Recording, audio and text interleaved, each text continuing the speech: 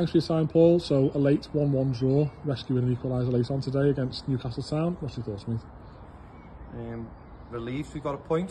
Um, disappointed that I've got a man sent off um, for nothing. Disappointed that we conceded a penalty. We haven't really um, deserved it, I think. Um, they, look, they're a good side, but I thought it was wasn't much in it today, was they? They've changed to a back five in that second half. Um, we failed to play any football like we had been in the first half and we should have had a goal or two in the first half. But we haven't. They've scored, then we've panicked then. Um, we've had to rejig the team around and, and we've come here threadbare as it is.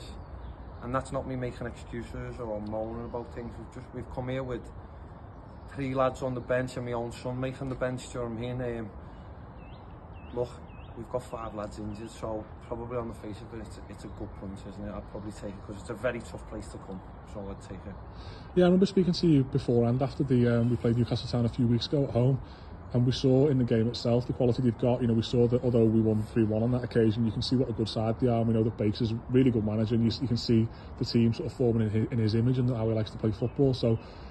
it's one of those, isn't it, where you know to have that never say die attitude to go one down and be disappointed in in, in doing so, but you, know, you must be really pleased with the way that the side plugged away to get, you know, to get a point in adversity against the, you know, with 10 men in, in adversity against a really good side. Yeah, look, I'm pleased with that. The lads have shown that spirit, as I say, and, and it's commendable. It's not a coincidence that we go till the end, is it? You know I mean? That's, that's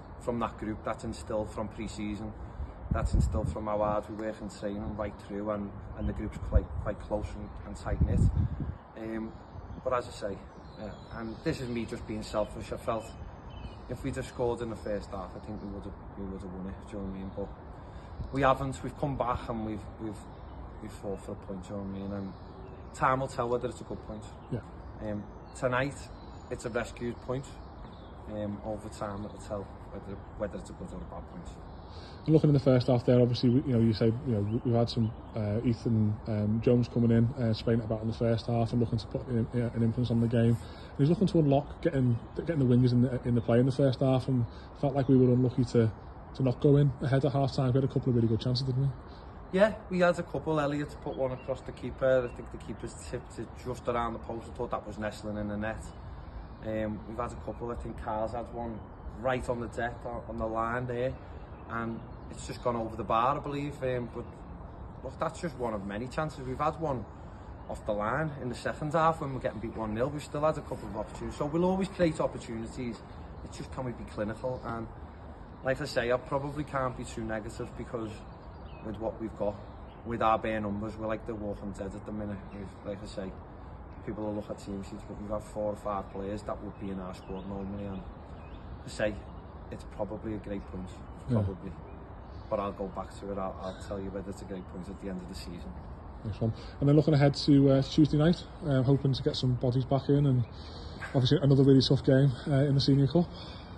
Yeah, yeah, and look, not by no means demeaning the cup because it's a fantastic cup, it's a fantastic game to play in, but my priority is not, not the Senior Cup this season, is it? It's more about getting to where we are at this minute, can we stay there? Can we take every game as a cup final? But look, at the cup semi-final. We'll see, we'll see how we are on Tuesday. We'll see what we've got.